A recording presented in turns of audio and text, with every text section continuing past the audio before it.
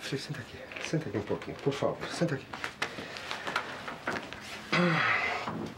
Bom, é, para o senhor entender essa história, eu vou ter que começar lá de trás. É, preciso que o senhor me ouça com toda a sua atenção. Preciso muito da sua amizade e da sua sabedoria. Quem sabe o senhor, o senhor não pode me dar uma, me dar uma luz.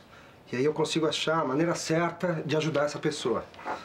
Mas quem é que está precisando de ajuda, Maneco? Quem é, é essa pessoa? É a Madalena, Frei. A Madalena? É. Mas a Madalena estava tão bem, ela não estava tão feliz com a união dela com o Álvaro. Pois é, como eu falei, eu, eu vou ter que começar a história lá de trás, tá?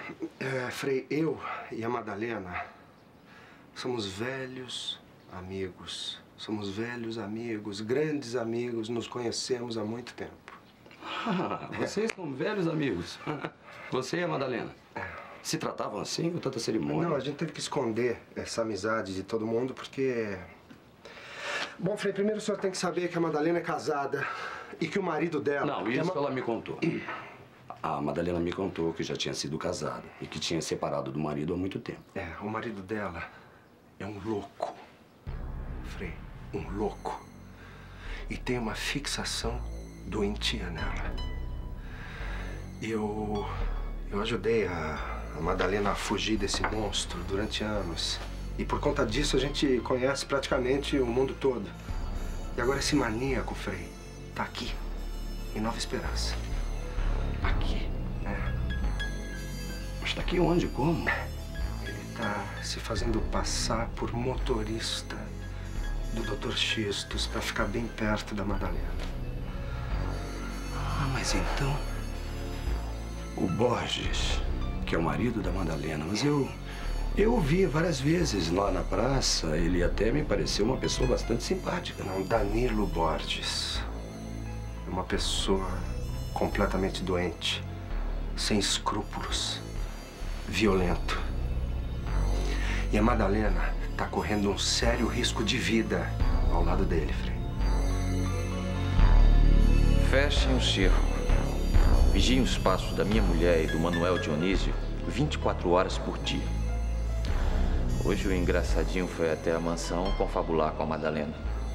Isso mostra que eles estão estudando o terreno com o único intuito: fugir. Se ele tentar ajudá-la numa nova fuga, vocês já sabem qual é a ordem. Acabem com Manuel Dionísio.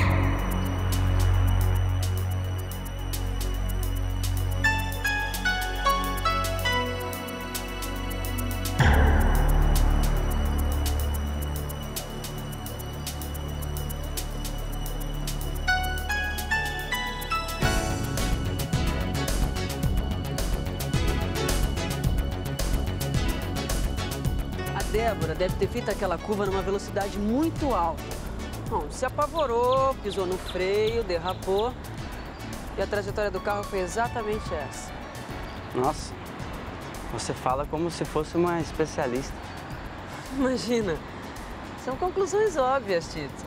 Eu sou uma curiosa nesses assuntos, lembra? Mas me disse, você não notou nada de estranho quando passou por aqui, antes ou depois de ter encontrado o corpo? Nada de estranho? De que tipo, assim? Não cruzou com ninguém quando se dirigia para fazer a entrega das compras no sítio? Ué, cruzei. Essa estrada aqui dá em vários sítios, Heloísa. Não, não houve alguém especial. Alguém, alguém que te chamasse a atenção. O que eu quero dizer é o seguinte, alguma pessoa mais ligada a Débora. Eu cruzei com uma pessoa assim. Mas não foi nessa estradinha, não. Foi na entrada da cidade. Também não dei muita importância, né? Como é que eu poderia imaginar que fosse encontrar a Débora morta mais adiante? Com uma pessoa, mas que carro ela estava? Quem estava dirigindo? A doutora Bruna. Você me perguntou de uma pessoa ligada a Débora. Ela e a Débora eram muito amigas, de infância até. É, foi com ela mesmo. Foi com a doutora Bruna que eu cruzei quando eu peguei a estradinha para fazer as entregas no sítio naquele dia.